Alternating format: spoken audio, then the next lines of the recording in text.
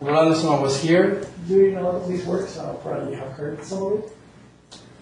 Okay, so this is uh, my outline. I'm gonna try to motivate and introduce this problem of uh, the adiabatic theorem. And then I'm gonna spend some time telling you that at least some versions of the adiabatic approximation, not maybe the adiabatic theorem, but the adiabatic approximation, uh, have problems, at least in their interpretation. So I'll talk a little bit about that and see what those problems are. And uh, then I'll explain one method that we developed that solves uh, many of those problems. And that method, we call it randomization because it's based in ideas from uh, uh, computer science randomization. You randomize things and you can get better results sometimes. And then I'll get to the uh, version of this adiabatic approximation, which is how we can solve uh, problems inspired by the adiabatic approximation and the adiabatic theorem. You have a quantum computer, and that's what we call the eigenpath traversal, and we can get faster uh, algorithms here than just using randomization. And finally, I will argue that the cost that we get when we try to do the adiabatic theorem with a quantum computer we can prove that it's optimal. It's, you know, if you try to solve this problem generally, you can never do better than this, and we have a proof of that. Okay, so this is the outline. Okay, so, you know, very simply, let me just tell you what I think the adiabatic theorem says. It says, well, you have some family of Hamiltonians and some corresponding family of eigenstates, and the relation is that if you are at some eigenstate psi s. So S here is like some parameter for my Hamiltonians, but if I am in an eigenstate psi s of Hamiltonian Hs, and then if I change my Hamiltonian Hs, Hs very slowly, so it's evolving in time, and then this particular Hamiltonian, and then I move the Hamiltonian a little bit. If I do that very slowly, then I am going to remain an eigenstate. Okay, so if I, if I was an eigenstate initially, then I'm going to be an eigenstate later on. So in particular, if psi 0 is an eigenstate of H0 and it's non-degenerate, let's say that's the most useful case. And if I change my Hamiltonian very, very slowly, I can get to some more Hamiltonian H1, whose corresponding eigenstate is psi 1, and I will prepare my system in that eigenstate. Okay? So if you, if you do this slowly, that works. Now, the adiabatic theorem is perfectly fine. I'm not, I'm not going to talk about problems with the adiabatic approximations. Uh, but, but the adiabatic theorem that says if you do this very slowly and very slowly here means if you take a time to do this, you know, to go from here to here, if the time you're taking to the tends to infinity, then it's going to work, right? And there's a proof of that, you know, in 1950 by Kato and proof. So there is no problem with, with adiabatic theorem. If you do it very slowly, then it works. But the question is, you know, how slow you should be. and that's what I call the adiabatic approximation. So the adiabatic approximation tells you there are different versions for it, but basically this is a fairly popular version that if the rate, you know, you have some gap, delta, between your eigenstate and all the other eigenstates at a particular point in your path of Hamiltonian. So you look at Hamiltonian HS, you look at the spectrum, you're in eigenstates psi s, and there is some energy gap all the other eigenstates. That's the, and that's going to be very important for the rest of the talk. So if the rate of change of your Hamiltonian in some norm, over the gap square, if this quantity is very small, so basically your Hamiltonian is changing very slowly with respect to the gap square, then you should. Okay, so this is uh, the other So this is the part that I'm going to argue is problematic. Okay, and actually, what I'm going to talk about is adiabatic approximations, putting bounds in how slowly you should change the Hamiltonian, or how long should it take you to go from there to there if you want to make sure that you end up preparing the state psi. Okay, but the adiabatic theorem itself, which says that if you do this, you know, infinitely slowly, then there's no problem with that, and that's been so the adiabatic theorem doesn't assume the Hamiltonian is capped. There are different versions for the adiabatic theorem. I, I think yeah, there are versions that don't assume that the, that the Hamiltonian is capped. But I haven't really looked into them. I just learned from what I heard. Um, you know, for the problems I've been working on, we always assume some.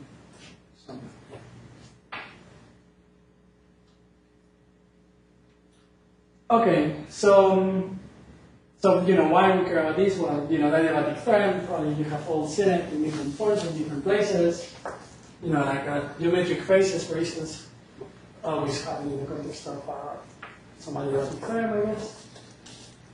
Uh, here in this particular place, there is, uh, you know, of people working in quantum computation, and of course you know that the, there is such a thing like adiabatic quantum computation. It just means that you can use these Hamiltonians that are easy to prepare in some sense, and therefore the final state that you prepare uh, encodes the solution to some quantum computation. And everything that you can do with a quantum computer, you can do it, you know, by slowly changing these Hamiltonians that are easy to prepare in some sense. At least to polynomial. So that's a motivation to study the theorem because it happens in the context of adiabatic quantum computation. Uh, you can also use the adiabatic adiabatic approximations to- for things like quantum simulations. And actually, originally was proposed, you know, in the context of quantum computation to solve uh, problems, complete- problems, and things like that by referring other people. And actually, the reason why we got involved in this uh, kind of studies is because we were interested in uh, getting a speed up for classical Monte Carlo, uh, which we did. And to get that speed up, we had to improve the way the adiabatic approximation was normally understood. So then there are some other works around. But basically, by improving the adiabatic approximation, we've been able to improve some classical algorithms that are related to annealing, and annealing is related to the adiabatic. So that was our motivation. Okay, now let me just give you a brief summary of the stuff that is coming from the rest of the talk. So basically, as I was saying, they're, you know, the standard versions of the adiabatic approximation we up, they have problems, and the problem is that they are often slow, so we couldn't get these speedups for quantum Monte Carlo, for instance, sorry, for classical Monte Carlo, because the dependence with the gap wasn't too good. And actually, they don't even work. I say often, I mean, like, you can find mathematical counterexamples. So they are not like, you know, rigorous statements. So you can get into trouble using them.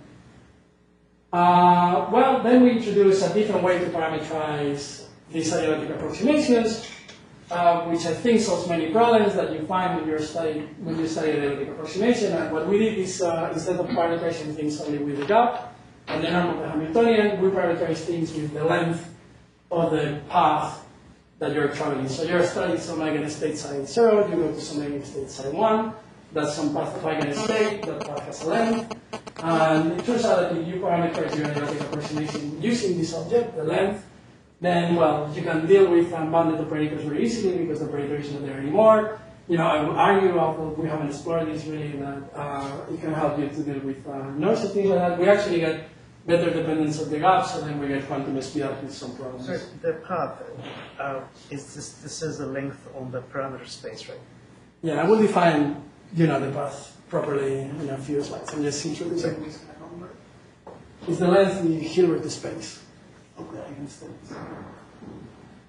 Okay, then I'm going to introduce this first method, the randomization method, which turns out to have a scaling of uh, length squared over the gap, and is related to instantaneous phase decoherence or instantaneous dephasing.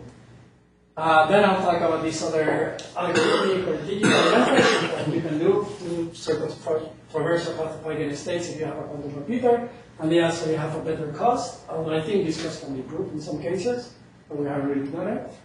And actually, you know, they don't have many conditions in terms of the continuity of Hamiltonians. That, this one actually works even if the path of Hamiltonians is not continuous, so the adiabatic approximation will break right away.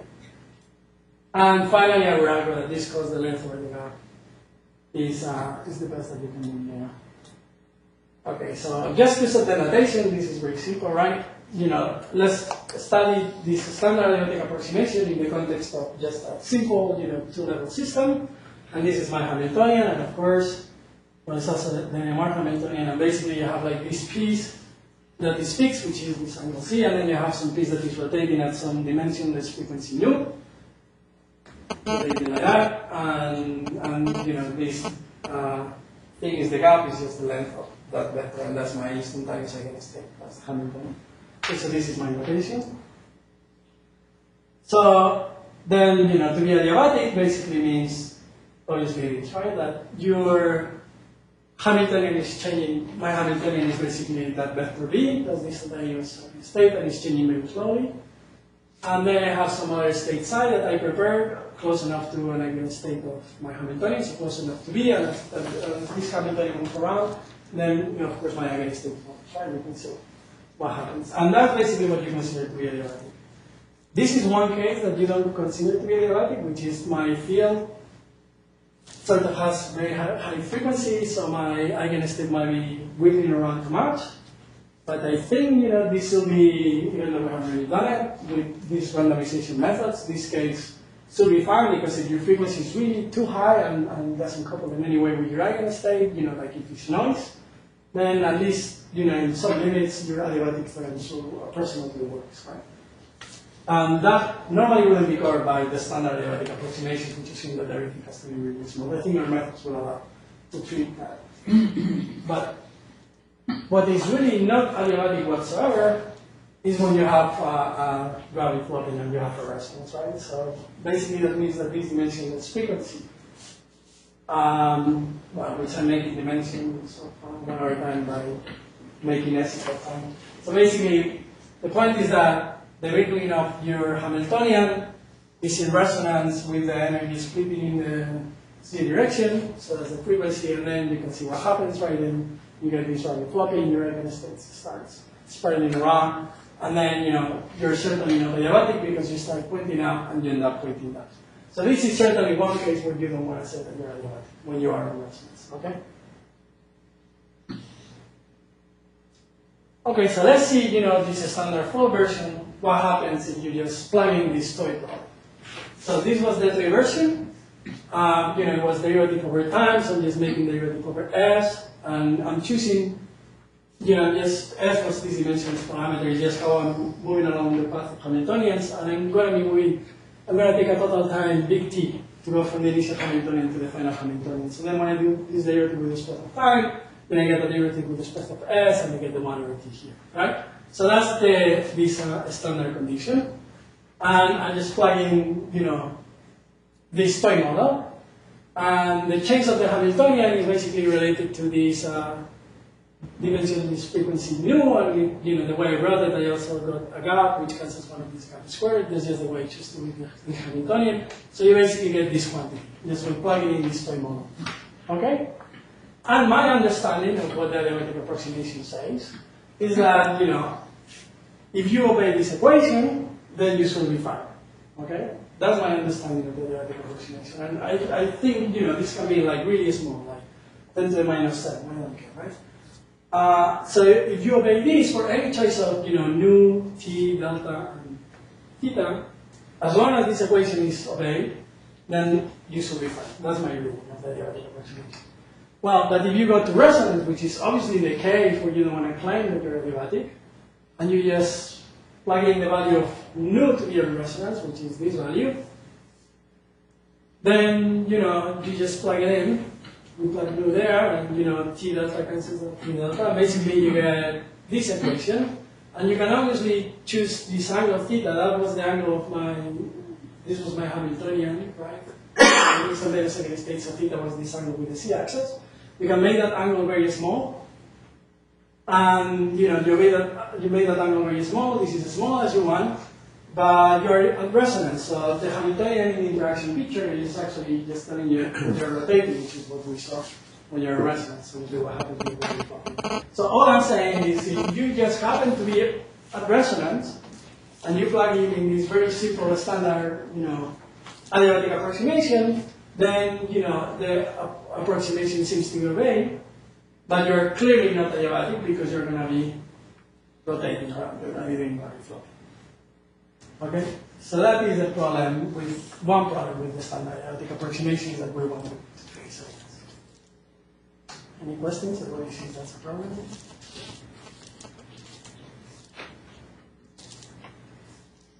Yes, no? Sorry, I'm taking that. Good, because sometimes I get people attack me question that's a problem.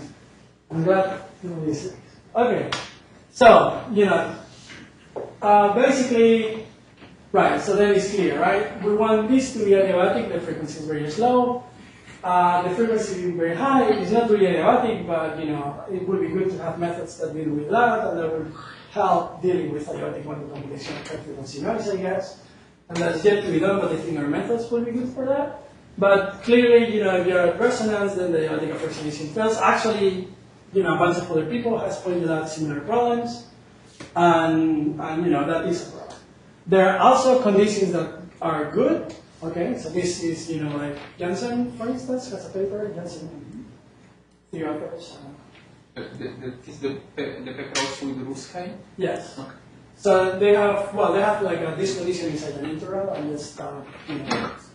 So they have, yeah, that condition is this condition, that's perfectly good. Uh, pretty much the same condition, you can find it in an appendix of Stephen Jordan thesis, which is actually due to Jeffrey Goldstone. And these conditions are fine. The main thing is that they look at the second derivative, and also they go with the gap Q. Okay? So the next thing I wanted to take a look at is, you know, what is the problem? The problem was the gap. I was checking the gap square, which is the standard one, most standard anyway. Some people actually looks at the gap cube, or is it the second derivative, right? So, well, it actually says there, the first derivative is the problem. So if you plug in, uh, well, five-dimensional analysis, you know, if I am looking at the first derivative, basically, I need to, you know, this is, uh, this is energy, so I need to put the Hamiltonian on top to cancel the dimensions. Okay? So basically, and this is dimensions. So any power of this thing, you know, is this gonna work? I was looking at k equals one, which was gamma squared. So k equals two will be the cubic case that we just had, and we saw that with the second derivative is actually sufficient. And it turns out that the answer to this question really is just uh, no, it's not good enough to look at the first derivative, no matter what power of the gap you're looking at. And you know, you just basically do the exactly same thing. You just go to this toy model, you plug in your new resonance, and basically, you if you obey this condition, you're gonna have at least one rotation, but you can have more. So this just means that over theta has to be less than this quantity. And you also need to obey this condition, which basically means that one over theta has to be bigger than this other quantity. So this ensures that you're, you know, a lot less than one here. This one here, this is just to make sure that I get at least one rotation. And, you know, because the power of this is less than one, then, uh, well, you can see? I mean, t theta will be like this, and the other one with the case will be like that, and your one over theta will to be in the middle, and then you're. You can obey all those conditions. So the first derivative is certainly not going to do. Okay? That's just a simple observation. So the other conditions that work, you look at the second one, And the cube of the first derivative. And if you just look at the first derivative, I guess you can have resonance and, and have, you know, products. The other problem with the standard adiabatic approximation is that we, you know, want to solve, and this was actually the problem for us, not the other one. The other one we didn't know at the time. Is uh, that you sometimes lose, lose quantum speedups, and this was noticed by Farhi initially when he did a Grover version, a, a continuous Grover search. And then, well, you know, the, the gap, so he made up this Hamiltonian that, you know, adiabatically you start in equal superposition of everything and you go to the, state that you prefer is the solution to your Grover search problem. And very simply, you know, the gap is 1 over square root of n, where n is the dimension of the Hilbert space in which you live. So gap squared spells like n. So if you try to do adiabatic evolution with 1 over gap squared, then it takes you the same, you know, time that it would take you to solve this problem classically. So you lose your quantum speed up, and that's because of this gap here. So some people run on it, actually in 2002, saying, well, you know, there's one way to solve the problem. You just go around and where, where the gap is closing, that's where you need to evolve for slowly. And they worked it out for this particular example. So we're going to do a general version of this, and the general version is to look not only at the gap, but also look at the how the state changes. So that's also very important. People were not looking at this have too much. So it's not only that here, the, you know, the gap is like that, there's only a gap in the middle, and that's where you want to go slow. It's for most of the evolution, at least in this parallel space S, to scale like this, your eigenstate hasn't really changed at all, and then all of a sudden it jumps because you have a phase transition, right? And then there's all, all this other work about, I think actually work on some of that maybe, right? So, okay, so the point is, you know, there's gonna, you know, jump in the eigenstate because of a phase transition, and you probably want to go slow there. And that's actually a signature of phase transitions. Okay. So, um, so, right, this is all the problems that I just described, I guess. So how we fix those problems? Well, the simplest way to fix those problems is using uh, this randomization idea. So I think it's kind of simple. So, but first of all, as I said, you know, the one way where we get rid of a lot of problems is, is, is if we just introduce this length, and that's what you were asking about, and basically it's just that you know, this is my initial eigenstate size zero, that's my final eigenstate, so you can draw a path in cubic space, and you know, you have a velocity, right, which is just the norm of the change of uh, that eigenstate. So the, the rate at which the eigenstate is changing, right, and then you iterate the rate of change and you get the length. Uh, so that's the length. Uh, you need to be a bit careful with the space because you're projecting here with the space, but that's not a big deal. And uh, you can actually bound this length always by the normal of the over there, okay? So basically, the thing is that, you know, the Hamiltonian, for instance, can be unbound. That's one reason why we can get these problems. But, you know, the length is not unbound even if the Hamiltonian is unbound. So you have like bosonic operators or something. The length is still fine. Can, can I ask a question? Sorry, for. So uh, this uh, metric is is very different from the Fubini study metric. This right? one? Yeah. Oh, it's the Fubini study length. It is. It is, exactly. I'm, I'm just using this uh, phrase. So this is the Fourier, is the, is the sub period. Yeah, you're actually looking at this quantity. I'm just looking at the norm. The Fubini study metric. I mean, the, the, the distance is always order one. The Fubini study metric. Uh, no, it's, well, it depends what you do, right? Uh, it's order one in two-dimensional space.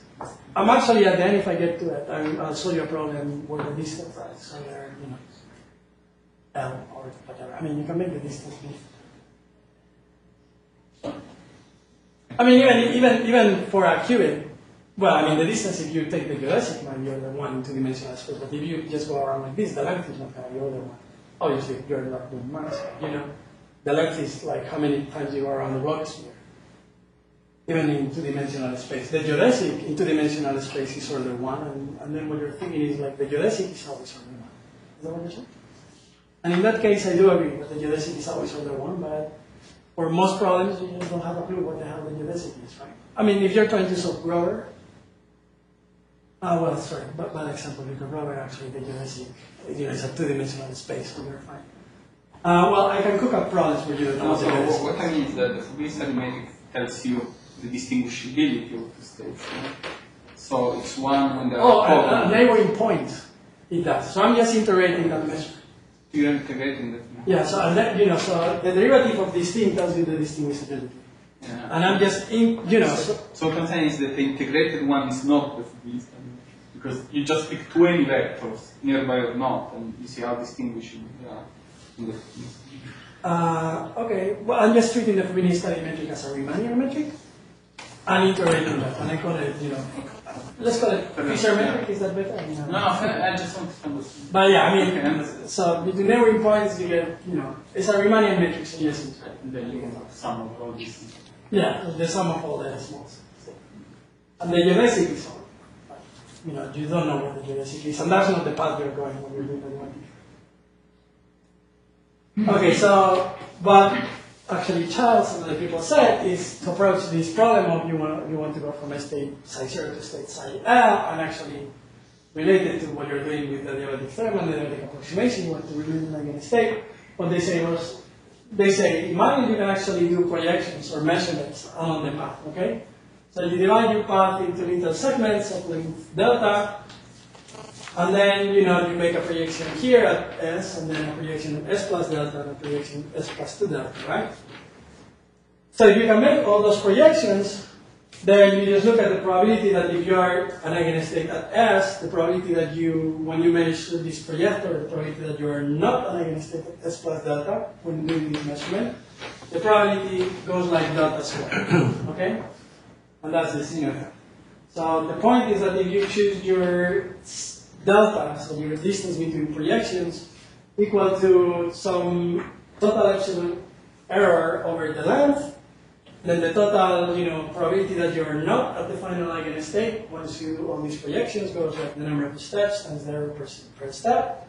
The number of steps is the length over, you know, the, the, the length of the whole path over the, the length of these small steps times the probability of the error one step, which is delta squared, and you know, delta cancels, delta is epsilon over L, right? So basically you get epsilon over.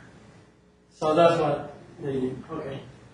And, well, you can, I mean, this delta square is is very easy to see where it comes from, right? It's just that when you move along the path, then you're moving, you know, to linear order, then the amplitude is changing by some amount delta, the amplitude, but the probability is the square of the amplitude. So the probability that the projection fails, you know, goes like the square of the amplitude, which is like delta square. So that's the CMAP method, which is where this thing works. So what they did was to do projections, basically using a phase estimation. So it doesn't really matter if you don't know what it is, because I'm going to do them in a different way. And basically they say, oh, you know, if I project at some point, so I'm going to state, you know, psi L, psi sub L of my path. Uh, this is what I want to happen. You know, I want to really project on the eigenstate psi L from wherever eigenstate I was, hopefully I was close to that eigenstate already. If my uh, projection fails, I'll be in the orthogonal space, and then the whole thing is going to fail. So this is all garbage anyway, but you know, with very high probability, this is what is going to happen. And if you write the operation like this, and you look at it a second, then you see that the only thing that is going on is phase decoherence. So all that this operation is doing is killing all the phases between uh, the the eigenstate and all the other eigenstates. So if you get phase decoherence in this sometimes eigenbasis, then you know you are done. This problem is solved. So how do you get? You know, that's what they pointed out. So we said you know, one way to get this uh, instantaneous, so this decoherence in instantaneous eigenbasis is to just look at what is the Hamiltonian HL that corresponds to this eigenstate psi L. And if you go with that Hamiltonian, then you acquire some base on the instantaneous basis, right? You acquire some phase. So if you go for some random amount of time, then you acquire, you know, some random phase, and you have to add all the phases, and that is the phase. Okay? So if you do that, then um, then you get the phase decoherence that you need, and this will work. And well, you can control, you know, the errors of that procedure just by looking at the characteristic function. So if the characteristic function at the gap is very small, then the characteristic, so you need to choose a random distribution. You, need to choose the evolution time according to some random distribution. And you want random distribution to simulate phase decoherence the gap. And that just means that the characteristic function of the random distribution evaluated at the gap is almost zero, or close to zero. Then you put epsilons in there. And that's just that equation, and then you can see where it comes from right away. And then, of course, the average cost of doing every one of these projections, because you want phase cancellation, so you want phases close to minus one, and the phase close to minus one is going to be like one over the gap times the time that you're evolving. Uh, that has to be minus one, right? So that means, you know, like the average evolution time for every one of these steps has to be like one over the gap. So that's how the gap enters into the picture. So you put it all together, and basically what you do is, if you want to go from psi 0 to some other state, which I'm going to reparameterize and call it psi L for the length, and then I divide my path into smaller steps. So I divide my path into two L squares or epsilon steps. And at every one of these points along the path, I go for a random amount of time with a distribution that basically has that average, one over the gap. Um, once I put it all together, you know, because I'm simulating projections along the way, I get the Zeno effect, and then I prepare the final state. And the total cost is the number of projections I need to do, which is basically this, L squared or epsilon, if you want to put there in the cost. So the number of projections, and the cost of every projection goes like one over, you know, the gap. So the total cost is L squared over the gap. Instead of L squared, you know, gap cube or, square and stuff like that. So we just have squared over the gap. Now in the worst case, the length was upper bounded by this other quantity. So in the worst case, you get the cube gap condition. But you know, often the path length is not scaling with the gap. So actually, in the case we were looking at in particular, but in other cases, like actually when you have a phase transition, the length is often not scaling with the gap. It has slightly different scaling, so you can save a lot when you do it like that. And you know, the one thing, I, other thing I want to say on this is that well, here we're not even looking at the first derivative. I guess we're looking at the first derivative at this point, but for sure, you know, if you want to overbound the, the, the line, but for sure we don't say anything about the second derivative. So the point is that the standard adiabatic approximations, the ones that I know that work, have to look at the second derivative, and I saw that, you know, you generally have to look at the second derivative because just looking at the first derivative of the Hamiltonian, you can always have bad luck and have a resonance. Here, because we're randomizing, we never have to look at the second derivative. Okay? And that's, that's basically because we're choosing our evolution randomly. So because we're choosing our evolution randomly, that ensures that we're, you know, almost certainly never going to have a resonance. So then we, you know, improve the standard scaling of the derivative approximation.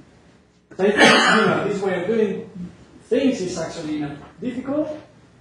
And, you know, you get a better condition and, no, no failures, okay? So, So so here you prove that there exists a path or a family of paths which satisfy this condition and for which, and for this the adiabatic theorem holds. But it doesn't prove that, I mean, you don't give the conditions for a general paths that, uh, So I prove that, you know, if you choose a particular path randomly, then with high probability it's gonna work. But I don't prove that a particular path works. Is that okay? So, and I can actually, you know, bound using Markov inequalities and things like that, you know, like, what is the probability that a particular path works? But I cannot guarantee that a particular path works, because there can be a resonance, and I'm not looking at the resonance. But in general, you know, with very high probability, a random path that I choose is going to be fine. And if that one doesn't work, then choose another one. so I mean, and I mean this, you prove that for arbitrary paths in the parameter space, there is a function st that if you evolve s according to that t, then you have this adiabatic theorem. Is that true? Like- Yes. Okay, so that was the randomized version, which is very close in speed to the adiabatic approximation and kind of fairly physical. The cost that we're getting is not optimal. I think we can improve that. We have already tried using martingales or you know just keeping track of the errors better. But the one thing we have done is to assume that we can we have a quantum computer, and with a quantum computer, we want to solve the same problem. So we're giving a family of Hamiltonians. We're giving the initial Hamiltonian, and we want to go. Sorry, the, yeah, the initial Hamiltonian. We have the whole family. We're giving the initial eigenstate, and we want to go to the final eigenstate. And now we have a quantum computer, right? So this is like a digital version of the adiabatic approximation. We call that eigenpath traversal because uh, we're going to be using gates and things like that. So it turns out that in that case we know how to do better. And actually a pretty good hint of how to do that is in this paper by And Wocjan, which we're working on the problem we were working before that, which was this uh, speed up of classical Monte Carlo. So they were working on that and they actually improved our bounds a little bit. And then, uh, then well, we worked on that. So basically the idea is that these projections that we're making for the Zeno effect, so you remember in the Zeno effect, you know, you evolve by projecting between states that are very close together. But if you fail, you know, which is some final probability failure, then you just keep going, so the whole path is wrong, okay? But you can do much better in your projections. So you can implement these projections that basically look like a Markov chain, and this has been used by other people in other contexts. Uh, I'm trying to think. Basically, you know, the general point is that if you're in a two-dimensional subspace, there is not much stuff you can do. And the two-dimensional subspace is spanned by your initial state psi, I guess, or the or the state along which you can do reflection psi, and the state where you want to go phi. So then basically you project, and you can project doing a phase estimation. So this kind of toy quantum circuit here is supposed to be this projection. And if the projection worked, then you measure, then you know you're fine. But if the projection didn't work, then you know that you're in a state orthogonal to where you want to be, and then you implement this reflection. Uh, along, you know, you just you can just reflect along some state in, in some two-dimensional subspace, which is uh, not completely orthogonal to phi. And if you do enough of this, then because at every step you have to find a probability to go there, and that's a Markov chain with the sink, then you're gonna go there, you know, with a expectation with a constant number of steps. So, well, the way you implement these reflections is, of course, doing a phase estimation, right, which looks like this. You, well, you do your standard phase estimation, then you do a reflection in Ancilla, and then you do the phase estimation, and that's the same as doing a reflection here. You can do this uh, phase estimation step very efficiently, So you just do a bunch of, well, a logarithmic number, logarithmic one of the error number of phase estimations, then your error is uh, very small, epsilon, but you don't need to reflect that many phase estimations. And the precision, the, you know, the cost of this phase estimation is one over the gap again. So the point is that you have a total error epsilon in one of these reflections, then the amount of time that you need to involve with this Hamiltonian scales like the logarithmic of one over the epsilon and the gap. There's no way to get around the gap. Okay, so if you can do these reflections and projections, then you can traverse this path of eigenstates, which is what you wanted to do. So let's see the cost that you get now. So what you do is you divide the path into segments again. So you, you want to jump from j to j plus 1, these were the same segments as before. Actually, before we needed to choose the distance between continuous states. You know, the longer the path, the smaller the distance. We have the distance delta was scaling like 1 over the length, and that's because we were using zero, and we wanted the error to be smaller and smaller at every step. But here, because the error is going to be almost zero at every step anyway, then we can choose the distance between consecutive states we can choose it to be, you know, some constant p. So that means that before we needed L square measurements, and now we only need L measurements. Okay? So now we only need L measurements, this is an upper bound on L, but normally L is considered like that. So that's where, this is where the gain is gonna be, because at every one of these steps, I do this reflex project, and I do the reflection project with the phase estimation, and the cost is basically one over the gap. So the total cost of this thing is the length of the path. So that's the number of projections I need to make over the gap, which is the cost of every one of these projections. So whereas before with the randomization, at least using this very crazy error bookkeeping, I had a cost which was length squared over the gap or normal Hamiltonian square over the gap cube. Here I have only length squared over the gap. So we gain, we, we gain a scaling with the length or with the gap. we the gap. Okay. Um, well, actually, you know, to do that, I was cheating a little bit because I was doing this phase estimation to do the projections. So to do the phase estimation and reflecting the ancillas, then you need to know where you are reflecting. So you need to know where you're reflecting in ancillas, and the ancillas have a reading on the phase because I'm doing phase estimation, that means to know that, that means I need to know what is the phase, right? Because I'm reflecting in ancillas, so I need to reflect along a particular value of the phase. Uh, and I need to know the phase. So there is a way to do all this stuff without knowing the phases. And that basically is doing a non-destructive phase estimation. So it turns out that you have a logarithmic amount of copies of some state phi, um, actually, sorry, logarithmic amount of copies of some state psi, and psi is not very far from phi, so the overlap is only one half and some small constant. Then, you know, if you have logarithmic amount of copies of psi, then you can actually prepare from those copies, you basically do phase estimation and you can read the phase. Uh, this thing tells you how many states are in phi, which is where you want to go, and how many went to their zone or phi. So you can also keep a track of that. And you read the phase, and you haven't really destroyed anything because there are still, you know, in the two-dimensional subspace within psi and phi, which is where you want to be. So this is like a non-destructive phase estimation. And actually, once you know the phase, you can totally undo it if you want, up to some error, which in our case we don't do because we want to move forward, right? So basically, with uh, sufficient overlap and sufficient copies, a sufficient overlap better than one half and copies logarithmic, you can read the phase without killing your state. So then, you know, if you don't know the phase and you want to do the same trick, what you do is you just keep measuring the phase, and then once you know the phase, you know, you can do the same thing as before to put these copies where they need to be. And actually, well, here I'm explaining uh, how this operation works. Um, but I guess there's some technical details. So you basically have many copies, and you know, you do like majority voting in the copies, and you fix things so that you know you're reading a little bit of information from every copy, but not enough to collapse anything. Okay, and the final thing is uh, how you actually manage to divide the path. So this is for the case where what you have is a phase transition, uh, but you don't know where you have a phase transition. Okay, so if you have a phase transition, as you know, the eigenstate at some point, like happening Grover, is going to be changing drastically.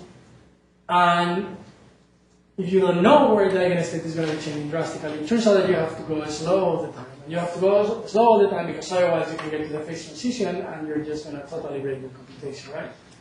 So until now, I was also cheating a little bit in assuming that I could divide my path properly. And if not, is when you have to use these other bounds, these bounds here. But it turns that you have a general compute, you know, a quantum computer, the same way that you can get the phase without destroying the state. You can actually try to measure without destroying the state. And, and basically the point is that, uh, well, the point is that if you measure and and you discover that you cannot, you know, project where you want to go because maybe you're almost orthogonal, then you can undo all this stuff, okay? So assuming that you can do that, and I'll talk a bit more in this next slide how you do it, then basically what you do to go at an optimal speed and really scale with the length and not with the solid quantity is you try to go faster and faster and faster all the time until eventually you crash. But when you crash, you are not dead. You can just sort of backtrack a little bit. And, and then, you know, once you backtrack, you basically recover all your state again, and then you start speeding up again. So by doing this uh, CD procedure where you're changing your speed dynamically, you sort of adjust to the phase transition. So if you want this method actually finds a phase transition for you. If there is a phase transition along the path, this method will tell you where the phase transition is. But, but you are assuming that you know how the mean that scales. Yes, that's But if you know that, how come you don't know where it is? Yeah, well, I'm working on that. That's a good point. All the time I am assuming, you know, some bound have. And I haven't really worked on how you can fix um, you know, because I'm doing the phase estimation, and the reason why I can undo everything is because the, the phases of, you know, like different states, or at least the state I care about and other states, so, you know, don't mix too much, so there is a, at least a gap that I can distinguish with the phase estimation. If I don't have that gap, then my phase estimation kind of scramble anything, and I don't have to recover anything. No, no, my question is, assuming you're, you're in a finite system, so you have a gap. Okay. And but in order to implement this algorithm, you must know how the, the gap, how small is Yeah. the gap, Yes. how, how, how it's scaling with the sense of the system. So Yes. my question, question is, if you have this information, how can you not have information where the, where is the, the point of minimum gap? Okay, let's, um, let's say you have a bound on the gap, a bound, not necessarily good knowledge. and maybe you know where the phase transition is, but you don't know, you know, the exponent, if you want, in your language, of the phase transition. So you know there's a phase transition somewhere, but you don't really, you know, how is this uh, fidelity measure, you know, spotting, uh, looking for that particular phase transition. So this will Yeah. find it. But yeah, you need the bound of that for our methods. I, I, yeah, we haven't really tried to get around that, but we will need, you know, whereas other things like dealing with noise and high frequency stuff, I think the same ideas will work, or, you know, dealing with uh, not knowing the gap. Yeah, I haven't really thought about it. Probably we need more ideas. That's fine. Okay, so the way you can implement these non-destructive jumps is by, well, you see, you know, this, what I was doing before is I was going from here to here, trying to jump to there, and if the jump was not successful, then I will come here, and then I will like move around here. So you can transform, you know, use a slightly different circuit, which I'm not gonna go through, but basically the point is that if you don't jump here, then eventually instead of ending in the perpendicular state to this one, you end up in the perpendicular state to this. And either, you know, if, if, if the state psi is not completely, is not too close to phi, paradoxically enough, then you either end up always here or here. So you just work it out and then just what you get with a little bit of care. And it's a very simple quantum shift. So it's the same story, you know, then you repeat this a number of times, and the only sync of this Markov chain is this sync, well, this sync. So you end up in one of those two. And again, you have to repeat this many times. So that's the way you do these non-destructive jumps to sort of find, you know, how fast you should go out of the phase transition one. Okay, so. Wow. Don't know what this is. Interesting. Uh, I don't know what that came from, but okay. Oh, I have the speaker. Yes, sorry. You guys didn't notice that. But yeah, if you, you try to see the recording, it'll be more obvious.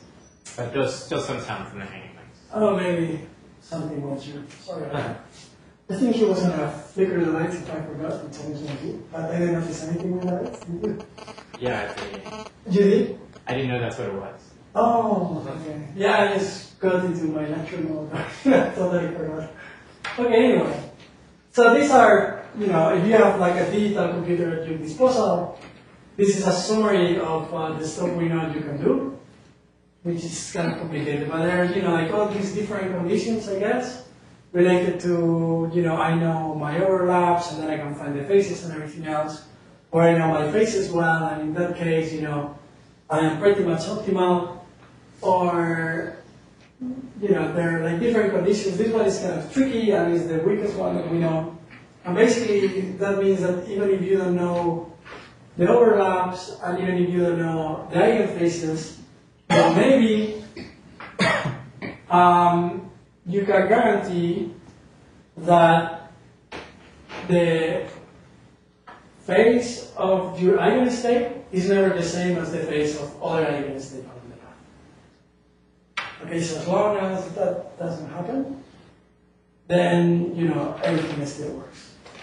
I don't know if that condition happens in all systems, but I think, you know, it's reasonable. So we're looking at the Ising, you know, when the Ising changes for that, that seems to be okay. So as long as the energy is never exactly the same, that's the weakest condition that we can find. And then we call that, you know, once we put epsilons and deltas, we call that eigenphase dominance.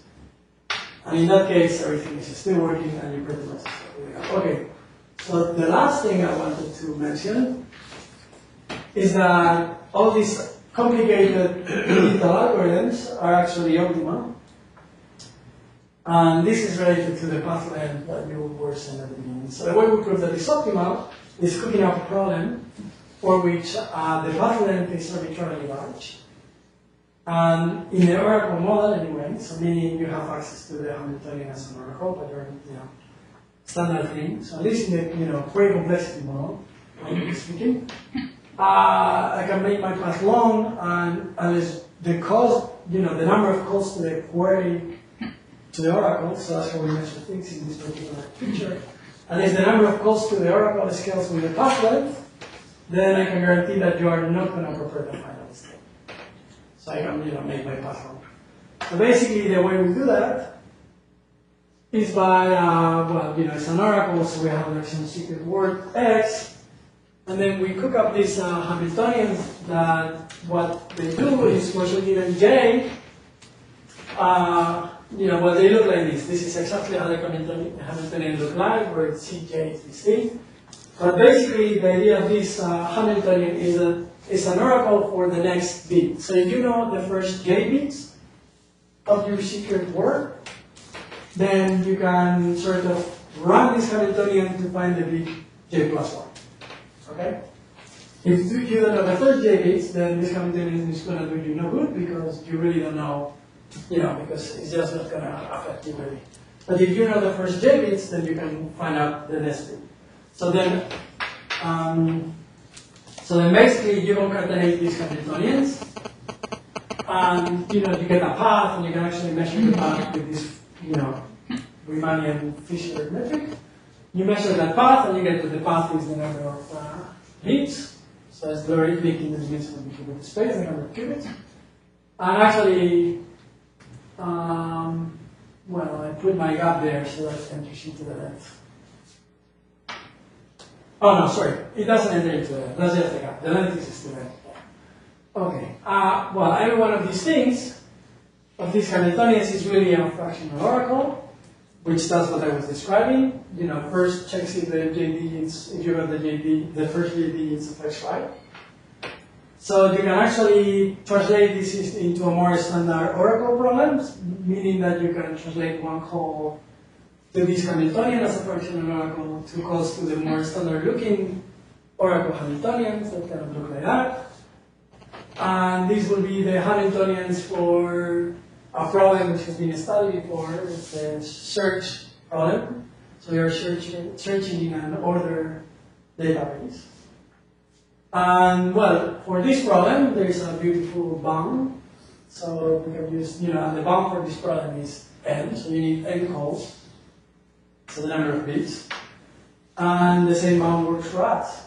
Uh, therefore, you're pretty much done, you know, using uh, some logarithmic equivalences that because the, you know, because you know you need n calls to this Hamiltonian problem, uh, um, because we know that calling uh, this oracle, you can get this oracle and the other way around, then you're going to need at least n calls to this Hamiltonian, and that basically means that because n is the length of the path, that we need to go for amount of time that scales with the length of the path. And actually, we can do a bit better because you know we, you look at how this bound is proved and is proved using the adversary method. Uh, so instead of using results actually by Daniel and some other people I had to go between fractional oracles and more standard oracles, you can just directly cook up the adversary method in the continuum, which is where we're working, and the adversary method directly gives you this bound length over the gap without logarithmics that you get from the from the fractional oracle to the standard oracle conversion from this other more general algebra. Okay, so anyway, these are my conclusions, and I'll leave there. Thank you very much.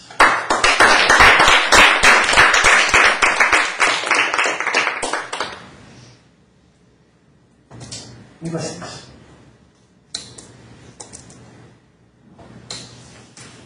I have one. So the, it could be a bit speculative, but I'm wondering, is there any formulation using random walk or the quantum walk to the same problem?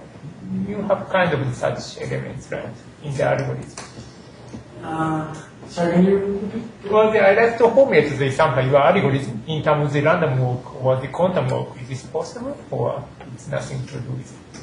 For this part or for the randomization part? Or for the quantum algorithm Oh, for the quantum algorithm, I see. using the phase estimation? Uh, that it looks like a quantum walk? Well, I don't know. I mean, it could Okay. be the classical or the some phase space, but So the question is, is it, if it looks like a quantum walk? yeah. Okay. Um,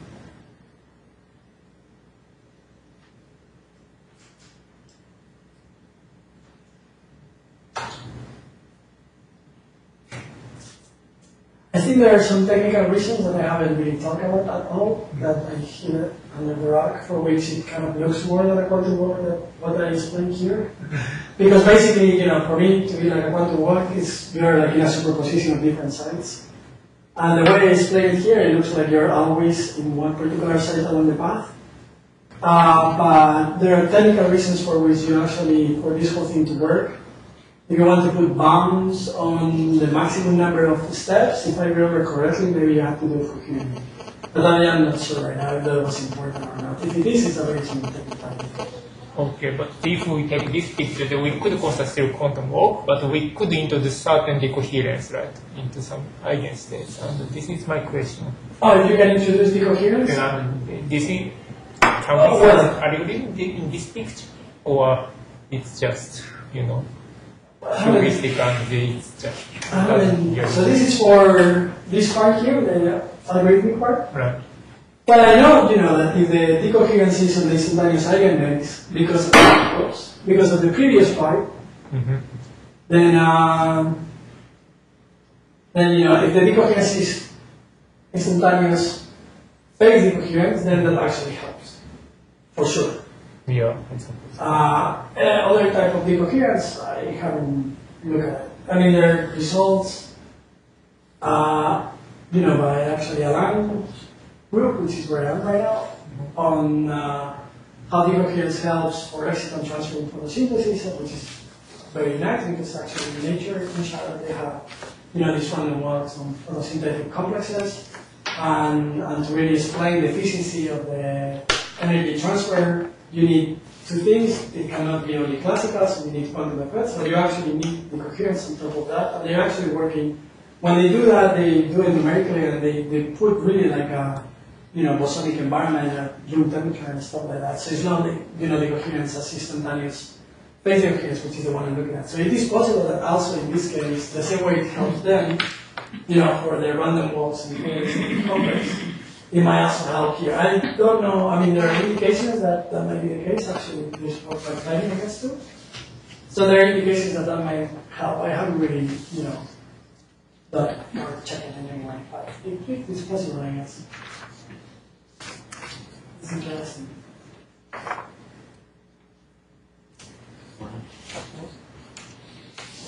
That's, thanks for sharing.